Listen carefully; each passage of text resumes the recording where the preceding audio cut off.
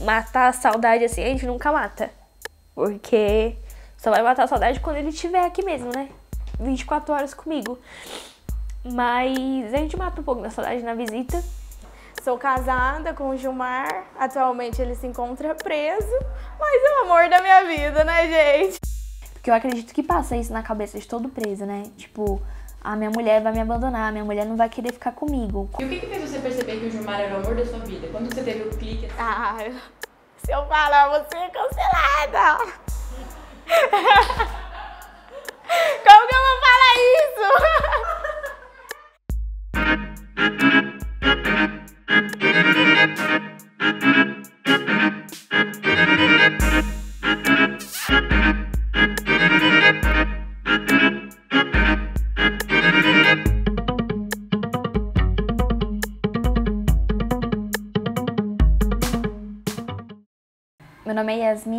tenho 20 anos, completei 20 anos domingo passado. E atualmente eu sou da profissão Lash Design, faço extensão de cílios. É... Minha rotina é basicamente acordar e trabalhar. É, meu nome é Ana Júlia, eu tenho 16 anos, vou fazer 17 agora, dia 21 de abril. A gente gosta dos vagabundos, não tem o que fazer. E mais mostrar meu dia a dia no meu Instagram, né? E eu acredito que as pessoas ficam mais assim, engajadas, mais visibilidade quando eu mostro eu indo visitar o Rodrigo, quando eu mostro eu indo viajar, por curiosidade, né? As pessoas gostam de ver isso, de como que é essa vida, né, de mulher de preso. Atualmente sou influenciadora digital e tô aí para mostrar um lado diferenciado da vida da mulher do preso, mostrar que a gente não é bandida, nem vagabunda, nem nada, como a pessoa que cometeu o crime, porque como eu já falei, ele é ele, eu sou eu, as escolhas dele não interferem em mim. Eu sou totalmente diferente, não passo pano.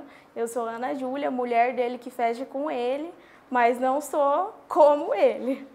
E, enfim, a minha vida é essa, trabalhar. Às vezes eu vou pra igreja, de terça e quinta eu tenho um culto na minha igreja. E aí eu trabalho, acordo, trabalho, vou pro culto no dia de culto, e ou quando não tem culto eu acordo, trabalho. E aí quando começa sexta-feira já começo nos preparativos. Então, é, a minha rotina é muito focando no final de semana, né? Então é correria de tipo, ver se vai de carro, ver se vai de van, aí tem que pagar van, tem que pagar carro, tem que ver se eu vou ter que ir pra outra cidade. Então a minha semana é muito em prol disso, sabe? É muito correria pra pensar no fim de semana. Aí no fim de semana que eu tô mais livre, mais tranquila, que já tá tudo resolvido. Mas a semana é o que eu vou levar, o que, que eu vou fazer, comida. Aí tem que mandar e-mail pra ele pra ver o que, que ele vai querer, é, se ele vai querer que leva jumbo. Todo final de semana eu tô cansada, mas eu não consigo ficar sem ver ele. tem que ir. E aí, quando é final de semana, sexta, às vezes eu tomo a frente e falo, não, pode deixar que eu compro tudo, pode deixar que eu faço tudo. Por eu gostar também, né, de preparar as coisas dele. Então, assim, a gente sempre reveza. E aí, é, final de semana, quando é sexta-feira, eu já começo a me programar. Inclusive, essa semana eu vou visitar domingo. Por isso eu vou sair mais cedo. Por quê? Lá é praticamente por ordem de chegada. Você entra mais cedo na, na penitenciária, você entra primeiro, conforme você vai chegando primeiro na cidade, que tem a senha lá. Então ele manda eu levar no dia da visita, aí eu monto junto.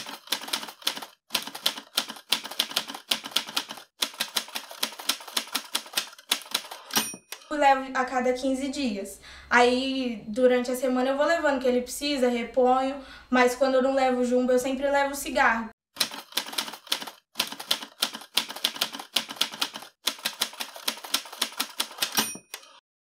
Porque ele troca lá dentro, né? É tipo o dinheiro daqui. Então ele pede bastante cigarro, porque daí ele compra as coisas que não entram no jumbo. E você vai fazer o jumbo hoje? Hoje não, hoje eu vou mandar só cigarro. Ó, eu levo pão puma, levo refrigerante, levo é, leite em pó, levo chocolate, bolacha, bolo também, esses bolos assim, mas tem que ser industrializado, sabe? Não pode ser caseiro. Pra ir no jumbo, eu posso levar na comida, bolo caseiro. Eu vou levar de laranja. E o seu marido, ele é ciumento? Ixi, é nada. Ele era aqui na rua, né? É. Ele tem um ciúme, tipo, dos meus ex. Uhum. Aí ele tem ciúme. Mas de homem, assim, ele é de boa. E agora, com ele preso, você solto, ele não fica meio... Ah, ele fica, né? Uma gata dessa.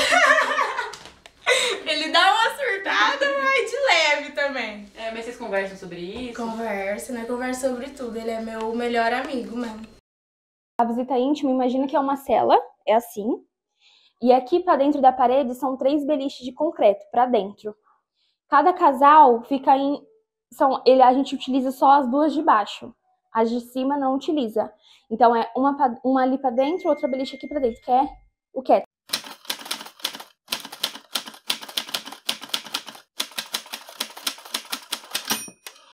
né? A gente chama de quieto. E quanto a barulho, conversa, isso não atrapalha? Tipo. Tem gente que é escandaloso.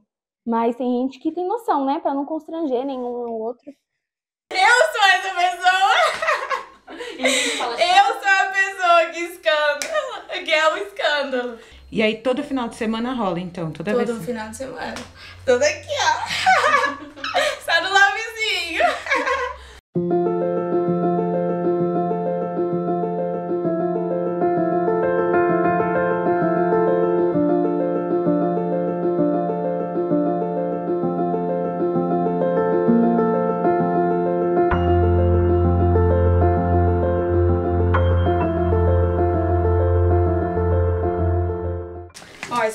a bolsa que eu uso nas viagens. E eu começo colocando uma toalha, que como eu fico na pousada, eu tomo banho lá. Aí eu coloco uma toalha, minha roupa, eu já separo. Aí aqui tá a camisa, vou toda de vermelho. A calça e as lingeries. vou toda de vermelho essa semana. Aí eu organizo, já passo perfume pra deixar com cheiro. E vou organizando assim. Enfim, é isso, a minha vida é essa. Eu trabalhar a semana toda, igreja. Quando ele tava aqui na rua, como eu tava falando pra vocês, a gente tinha costume, né, de sair, de se divertir, curtir. Mas a partir do momento que aconteceu tudo isso, sabe, eu senti falta. Tudo que eu fazia, eu lembrava dele, comecei a sentir falta e não, não teve mais graça, né? E aí foi quando também eu acho que a gente tem que se apegar em algo que dá força pra gente, né, enfrentar a luta.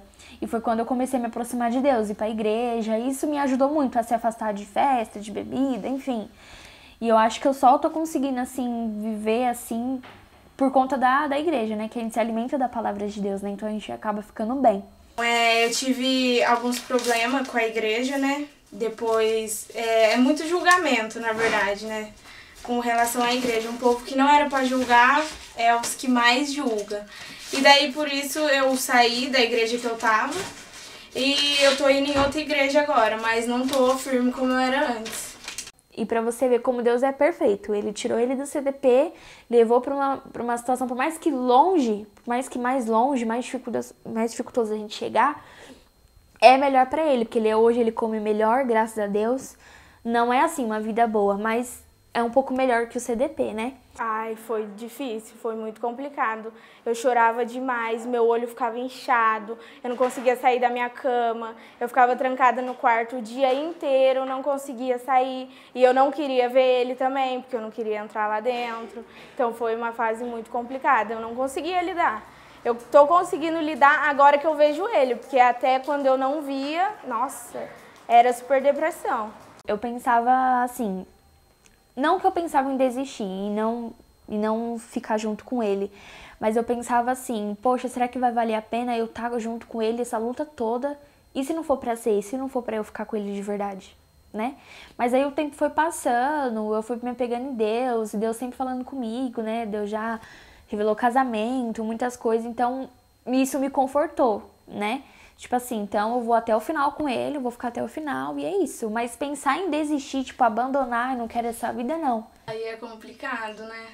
Ah, eu tento distrair minha cabeça, sair pra algum lugar, pra não focar muito na saudade, porque senão a nossa mente vai ficando pirada. Ah, saudade eu sinto todo dia, né? Eu tenho vontade de chorar. Ai, meu Deus, minha maquiagem. Todo dia, porque a gente se via todo dia, né? Era uma rotina.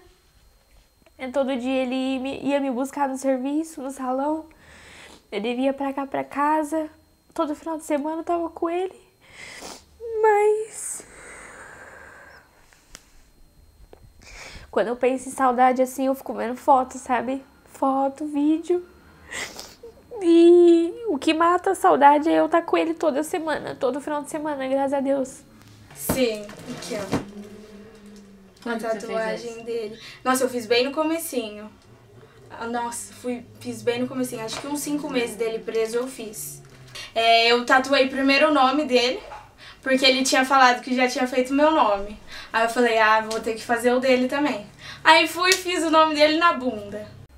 E ele fala até hoje, porque ele sempre foi um cara que não se apegava, né? Enjoava e, e foi o que aconteceu. Quando foi no final de 2021, eu sonhei, assim, me deu um start. Eu sonhei que ele tava namorando com outra menina. E eu senti no coração de chamar ele, contar que eu fiquei incomodada com isso, né? E aí a gente voltou a se falar e foi muito espontâneo, tipo, se vendo, se vendo. Quando a gente foi, foi ver, já tava um viajando com o outro, ele não tinha pedido namoro ainda. Mas a gente tava se conhecendo, já tava aquela coisa já séria. Aí quando foi outubro, 8 de outubro de 2021, a gente sentou pra conversar, pra ver se era isso. Não teve pedido de namoro, tá? Eu com a brisa dele até hoje. Mas a gente sentou e entrou em um, um acordo, né? Tipo, que você quer isso mesmo, a gente ia levar a sério. Ele foi preso em março de 2022.